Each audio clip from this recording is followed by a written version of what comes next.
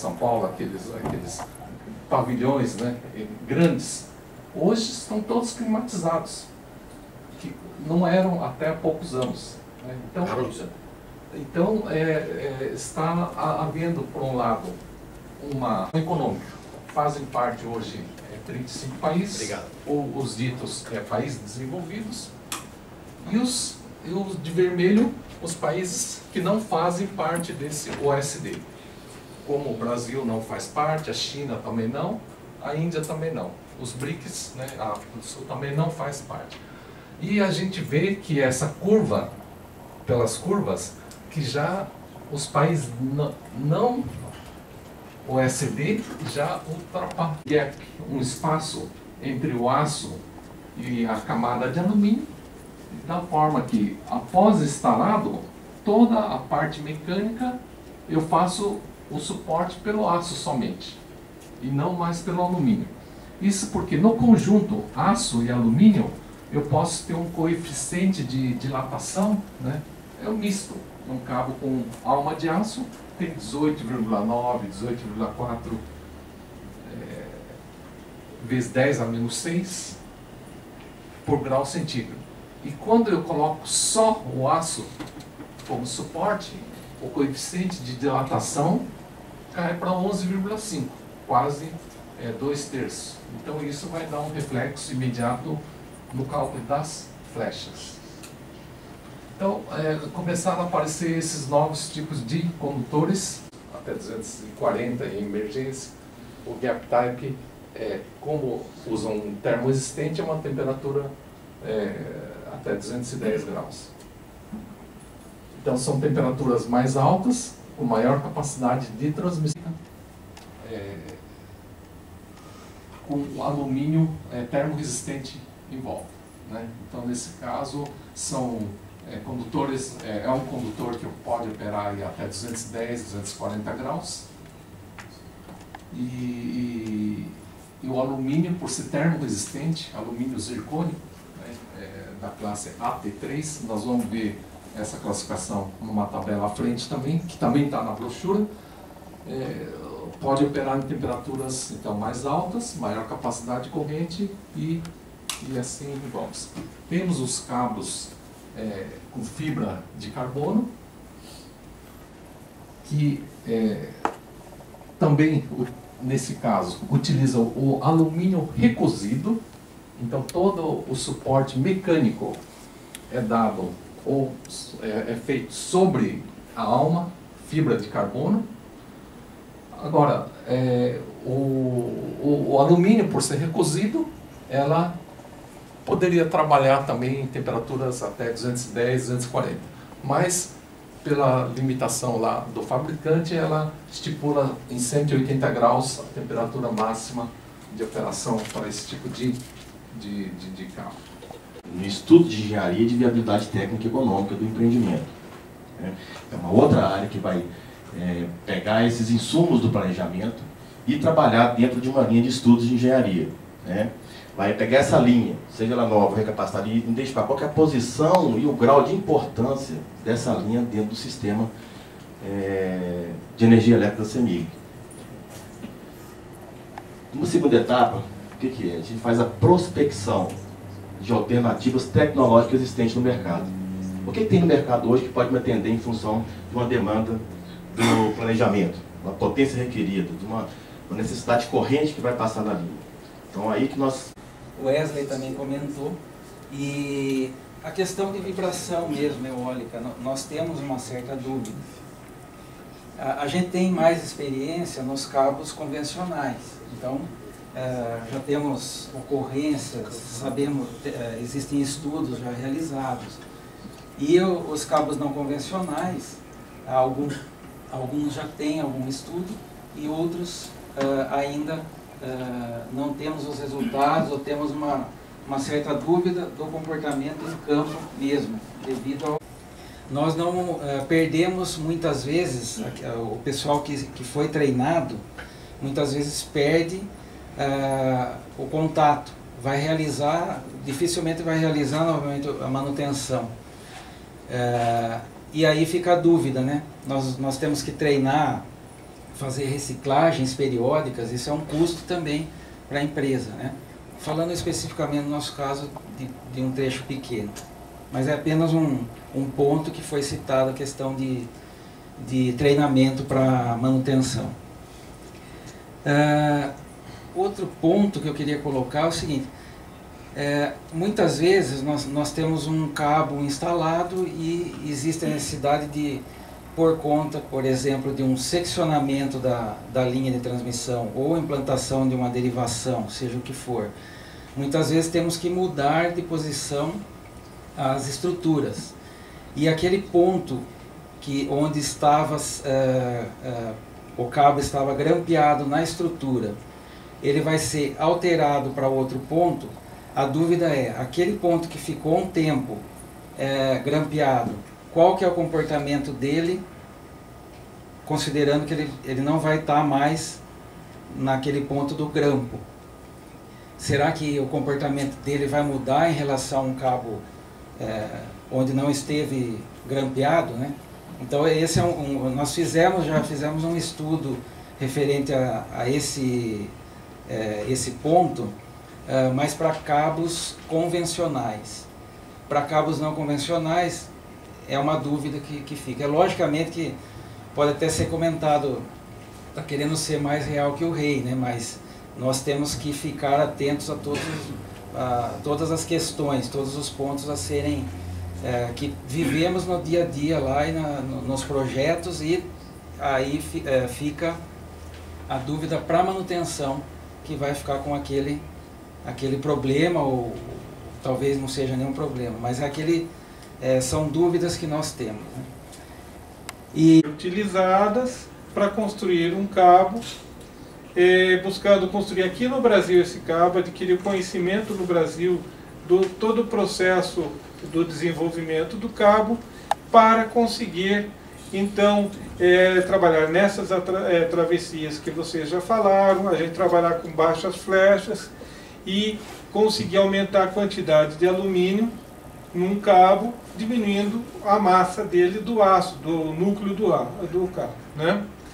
Então, é, tem essas posições aí que nós colocamos, né?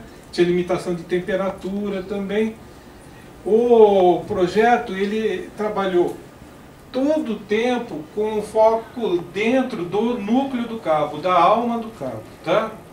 É, nós não entramos no projeto em usar alumínios de ligas de alumínio que aguentassem uma temperatura maior de processo, porque é, o foco do projeto era, é, primeiro, o elemento de sustentação desse cabo. Bom,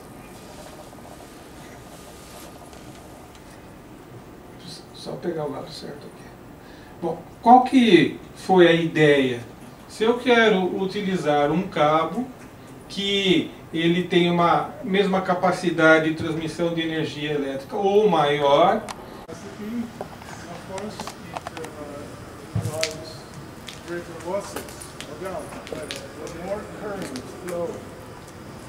Durante os testes, tá? A gente utilizou uma câmera termográfica científica, eu não trouxe essa câmera, porque fica muito cheio. Então nós temos à disposição para fazer esses testes uma câmera termográfica científica. So for the actual test, they use a thermographic camera, scientific camera. They have it, but not here right now for the demonstration. It's available for this kind of test. E, como eu disse, o meu interesse, além da transferência, é a estrutura do escoamento. Porque a transferência de calor no cabo depende da estrutura do campo de escoamento. So, the specific concern with the, is with the structure of the outflow, because uh, what happens with the cable is a function of this structure. Para isso, eu usei uma técnica ótica. The optical então, essa técnica envolve o uso de um laser, ali eu tenho sistema laser, tá embaixo, onde eu vou gerar um plano de luz, eu vou iluminar uma região do esquadro. Right, with that laser, it will generate a beam that will illuminate sections of that. E eu filmaria, eu não trouxe as câmeras também, ia fazer tudo. Eu, eu tiro vários, várias fotografias desse escoamento, desse campo de escoamento.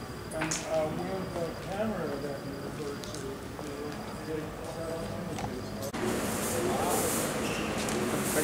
Vocês podem ver que a estrutura do escoamento, né, ele é todo turbulento. São, são vários vórtices que tem ali. Se alguém quiser subir aqui para filmar mais de perto, So you can see that the structure of the outflow uh, is very messy. It has a lot of vortexes being formed. Qual a velocidade você está usando aí?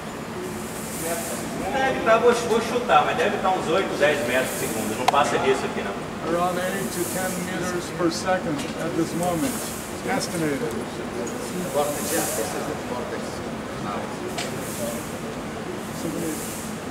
Se, por exemplo, o escoamento turbulento ele tira mais energia do cabo. Né? Então,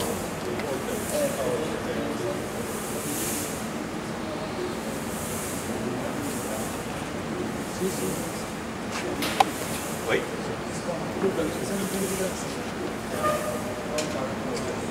Agora tem que esperar o sistema um pouquinho, porque tem horas que ele esquenta demais. Pegar uns, uns, depa- uns depoimentos aí dos.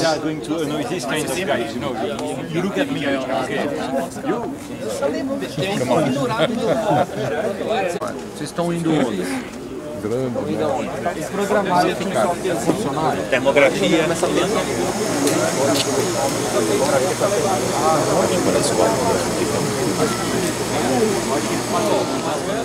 A gente pode aferir as câmeras aqui de vocês. É, temos um padrão aqui para isso. Calibração, né? O pessoal da CEMIG sabia? Talvez alguém já... Olha, eu acredito que sim, porque isso foi feito com o Roberto Márcio lá, tem dentro de CEMIG. Deveria Pode estar. ter essa, essa certeza não. Vou- Se falar isso aí, eu vou até conversar. E na época quem foi o gerente? Deixa eu virar para cá para o projeto. Fica aí. Foi o Henrique. Henrique, né? Henrique, deve ser Henrique. Né? Ô Wesley, que trabalhou e- uma palavrinha aí da sua experiência no dia de hoje como apresentador do workshop, participando aí do Segre Brasil, representando a CEMIG. Comenta um pouquinho da, da sua experiência hoje. Primeiramente, uma honra, né, participar de um evento como esse e estar no meio aí de pesquisadores, né, e profissionais é, reconhecidamente aí no, no meio. E uma troca de experiência muito benéfica para todo mundo, tanto para a CEMIG quanto para os demais, acredito que seja também. E amanhã continua, né, vamos a segunda parte do, do evento e esperamos fechar com chave de ouro. Ok, Wesley, o Segre Brasil que agradece o esforço seu aí para mostrar as tecnologias que a CEMIG vem desenvolvendo com vários parceiros. E é isso aí, vamos em frente que nós temos muito para fazer ainda. Valeu, muito obrigado. Estamos à disposição. Ô, João Guilherme, Pois não. Dá aí um recado pro pessoal aí da sua apresentação, o que, que você achou, como é que você está vendo o evento para a turma aí do Segre Brasil. É, eu estou gostando muito do evento, pena que de manhã eu perdi as palestras. Apresentação nossa, eu procurei resumir o projeto D421 que nós fizemos com a CEMIG. Com isso nós conseguimos conhecer um pouco mais sobre esses cabos com núcleos compostos. E está muito bom o evento, espero amanhã receber muitos conhecimentos das outras empresas que farão as apresentações. Ô João, muito obrigado. O Segre Brasil agradece o esforço seu de ter chegado a tempo para a apresentação e é isso aí. Nós temos muito para crescer juntos. Eu que agradeço. Parabéns pela apresentação. Eu que agradeço. Ô Marcelo, Sim. comenta aí a, a sua expectativa e a visão que você teve do evento hoje, sendo um dos apresentadores pela CETEP no evento do Segre Brasil aqui na UFMG em Belo Horizonte. Ah, então. Ficamos muito felizes pelo convite, foi muito legal. Assim, a expectativa era de querer aprender mais, né? Ver o que o pessoal tá falando por esse mundão aí e aprender mais. Como eu falei na palestra lá, a gente ficou muito contente pela, pelo convite e a gente quer aproveitar, aprender o máximo que puder e, e compartilhar as experiências que a gente puder aí com o pessoal. Muito bacana mesmo. Ok, Marcelo, o Segre Brasil que agradece o fantástico tema que vocês trouxeram aí para a Ah. implantação de linhas em áreas eh, de difícil acesso, ambientalmente impossíveis de novas construções. Então vocês estão de parabéns pelas soluções e pelas é, iniciativas implementadas pela CETEP, e, acho que em nome do Brasil aí. Parabéns. Não, obrigado, obrigado. Nós agradecemos. A moment, Good. okay? Good. Um, I very much enjoyed the SIGRE meeting uh, here in Belo Horizonte and uh, found the talks very interesting and showed a lot of interest, interest from a lot of different people uh, on uh, high temperature and low sag and losses and all the different aspects that come from using a high temperature low sag cable. Okay, thank you very much. Behalf of Sigre Brazil, you are very glad to receive your in our event. Thank you very much. Thank you. queria morar lá perto de Jesus nasceu. Foi lá, né? Fernando. Como está você? Muito bem. Tudo bem? Muito obrigado pela invitação, tá? É um prazer. Eu, em nome do Sigre Brasil, gostaria muito de agradecer a sua pronto atendimento pela Software de comparecer ao Brasil e compartilhar seus, seus conhecimentos com a gente. Tá, Você um tem engrandecido muito o evento, então eu gostaria de registrar a sua impressão hoje do evento. Tá, o que, eu, que você achou do evento? Tá, eu acho que é muito interessante. Como sempre acontece aqui no Brasil, tem surpresas todos os dias. Então tem gente com nível técnico muito alto. Mas o auspício da universidade eu acho que é muito importante porque demonstra que o nível é muito alto e o nível das apresentações demonstra que tem um interesse e que o mercado está sendo desenvolvido e que aí é trabalho nosso participar com vocês e dar as soluções técnicas adequadas para, para melhorar. Tá? É, muito obrigado por a sua invitação e a gente fica totalmente à ordem para qualquer projeto, qualquer coisa que vocês precisem. Ok, o Brasil está aberto aí para novos desafios e novas visões de engenharia que a Software é uma empresa de história e com certeza vai ajudar muita gente a vencer essa fase que nós estamos. Tá? A gente já fez um acordo geral com a Induscabos aqui no Brasil para ter um partner nacional para trabalhar esta parte de condutores especiais. Então, eu acho que essa parceria vai, vai funcionar, porque tendo um par partner local que tem os contactos e que fica aqui sempre, vai abrir muito as portas para a gente. Com certeza. Muito obrigado, Fernando. Obrigado eu. Valeu. Só um momento. É, eu queria que você comentasse aí qual está sendo a sua visão do evento que você organizou é, aqui na UFMG, em nome do Sigre Brasil, e relata aí para fazer uma explicitação da sua visão. Não, eu acho que até agora está indo tudo muito bem. É, o nível da, das palestras está muito bom. E a, o nível da, da, audiência, né? Que não é só palestrante, mas a audiência que faz a palestra também.